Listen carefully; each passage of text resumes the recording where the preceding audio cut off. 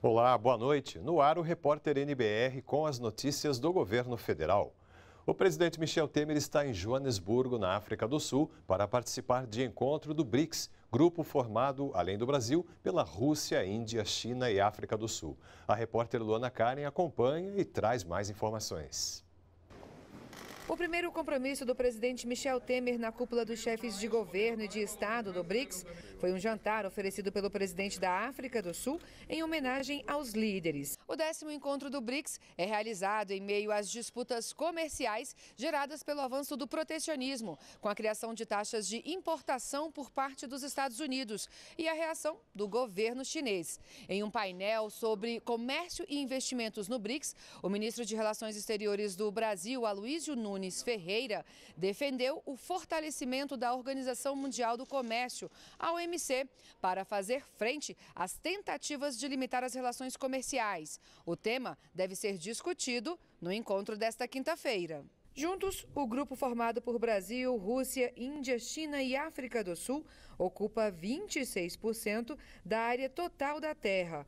Os países de dimensão continental abrigam 42% da população do planeta e respondem por 22,53% de toda a riqueza produzida no mundo. Acontece nesta quinta-feira o leilão de privatização da Eletrobras Distribuição Piauí, a CEPISA.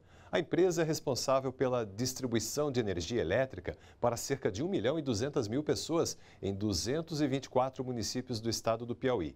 A expectativa do governo é melhorar a infraestrutura do setor de energia e reduzir os custos para o consumidor. Neste leilão de amanhã, ah, está designado um aporte no capital da empresa, um aumento do capital de 720 milhões de reais isso já buscando o quê? Uma melhor qualidade no, no serviço prestado ao usuário, né? Então é óbvio que quem tem que sair ganhando nisto é o usuário, é a população. E essas distribuidoras estavam precisando exatamente da privatização, há 20 anos que vem arrastando essa história, né? E hoje nós estamos conseguindo esse sucesso nesse leilão.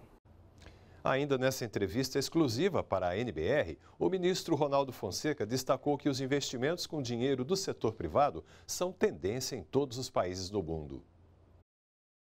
Não tem como você melhorar a infraestrutura de um país hoje, no mundo que nós estamos vivendo, globalizado, sem buscar o investimento externo ou investimento privado. É essa visão que o governo tem. Nós precisamos colocar dinheiro no país, não apenas do orçamento da União mas dinheiro privado. Esta é a ideia do mundo todo, está caminhando nessa direção e o Brasil também não está na contramão do que está acontecendo no mundo.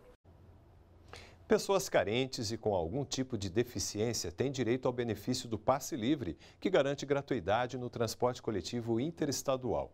E as empresas de ônibus não podem mais limitar a dois assentos as vagas para estes usuários. O passe livre é garantido às pessoas com deficiência de baixa renda em viagens interestaduais de ônibus, de barco ou de trem.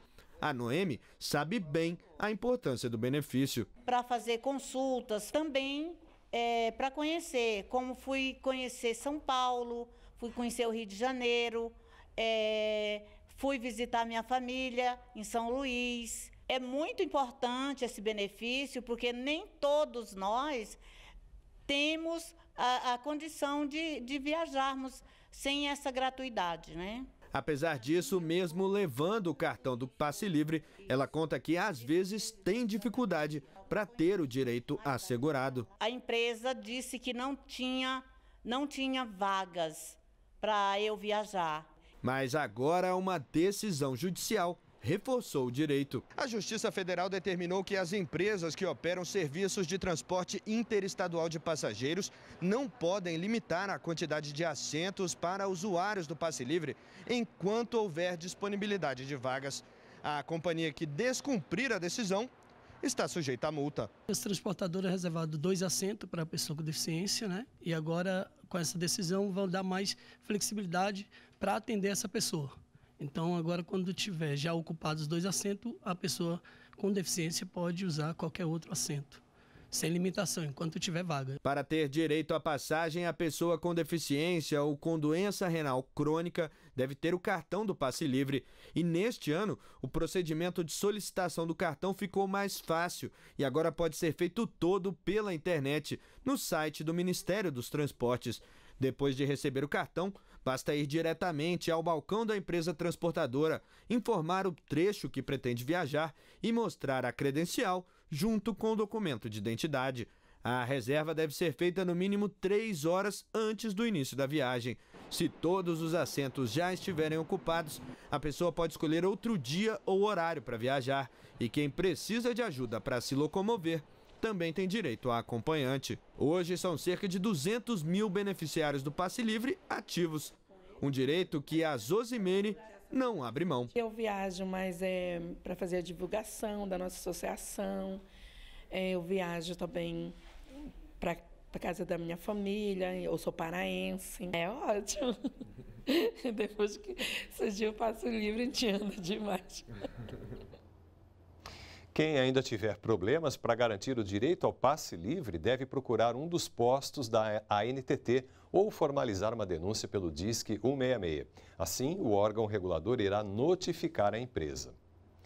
A partir de amanhã começa um novo período para o saque do abono salarial ano base 2016. O prazo havia terminado em 29 de junho. Agora o beneficiado pode ser o benefício pode ser sacado até 30 de dezembro. Quase 2 milhões de trabalhadores não retiraram o benefício e o valor chega a quase 1 bilhão e meio de reais. Vale lembrar que o pagamento do benefício referente ao ano base 2017 também começa no dia 26 de julho. Perdeu um documento? Antes de pedir a segunda via, procure os Correios. Todos os anos, os Correios recebem cerca de 300 mil documentos perdidos. Mais de 70% deles são carteiras de identidade. Pode abrir. Hoje, mais de 30 mil documentos estão aguardando os donos. Os documentos perdidos são deixados nas agências ou entregues a carteiros por quem os encontrou. A Agência Central dos Correios de cada estado mantém e cataloga estes papéis que permanecem na base de dados por 60 dias. Depois, são enviados para o órgão de emissão do documento. Carteiras de motorista, por exemplo, vão para o Detran. A página dos Correios na internet é outro caminho para achar os documentos guardados. Na área de achados e perdidos do site, os documentos extraviados podem ser buscados por tipo a partir do nome do titular. Também é possível consultar pelo telefone. Ligue no 0800 570 0100 pela capilaridade que nós temos, nós temos unidades em todo, em todo o país. Então ele pode solicitar que esse documento seja encaminhado para a unidade mais próxima dele. Paga uma taxa simbólica de R$ 5,60. Então ele paga e recebe o documento em uma unidade. E olha, uma dica, tá? Se você achar um documento, pode deixar com um carteiro ou na caixa de coleta ou numa agência mais próxima. Este é um serviço importante dos Correios que pouca gente conhece. Menos de 3% dos donos procuram o documento extraviado. Nós ficamos por aqui. Você acompanha a programação ao vivo pelo site da NBR na internet e todas as reportagens estão disponíveis em nosso canal no YouTube. Uma ótima noite para você e continue aqui com a gente na NBR, a TV do Governo Federal.